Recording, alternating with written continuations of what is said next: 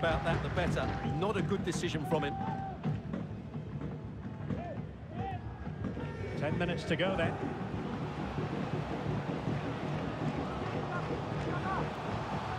Can he finish?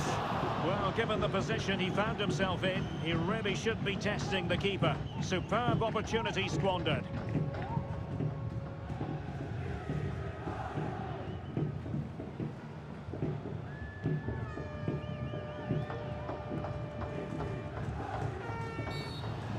First glance, you would think a strong possibility of a red card. Let's see.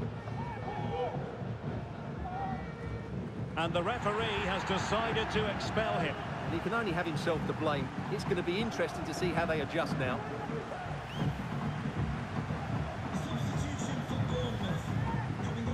Both managers deciding this is the time to change things around. Both teams